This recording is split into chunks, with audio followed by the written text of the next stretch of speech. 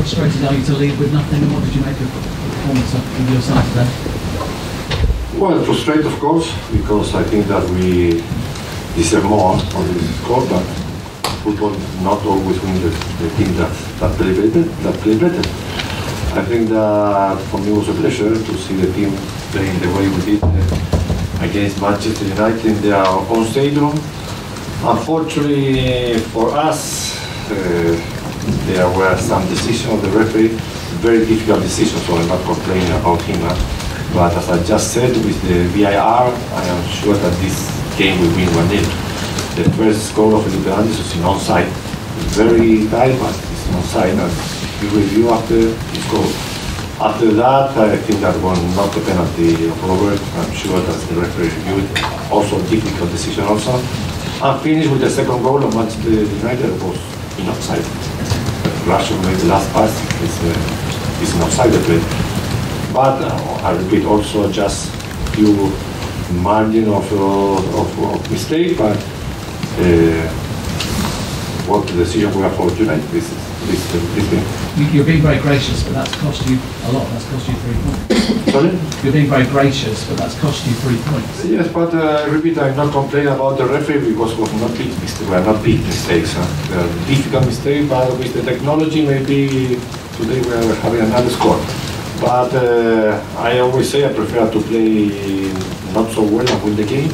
But for me, it was a pleasure to see the team playing with the personality and the mentality of the big team as we did against Manchester United. Manuel, you spoke to, you seemed to be speaking to the officials when you came out at the start of the second half. What, what do you say to them?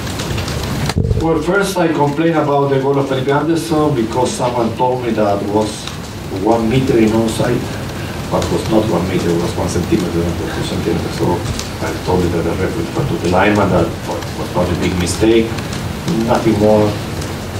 So you, you, you just tell the linesman, oh, you made a mistake, but it doesn't matter.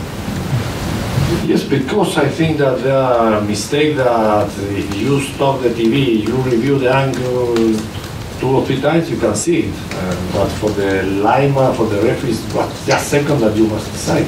And it's not a very, very big mistake, but it's part of the game. En, español que, que viniste dos veces a Manchester, acá consecutivas contra el City, contra, contra, contra el United, y las dos veces, por decisiones arbitrarias al final, no te vas con puntos, porque te con cuatro y te vas con cero, y hoy sobre todo jugando también, ¿cómo, cómo quedas todo? Bueno, eso es parte, parte del juego. Yo creo que uno sabe que los referees también son humanos y pueden cometer, pueden cometer errores. Desgraciadamente, como dices tú, allá fue un penal inexistente y acá, acá también, pero me quedo sí mucho más con la, con la parte positiva de este partido que fue de la manera como jugamos. Thank you. We'll just do a couple of minutes of mentions outside.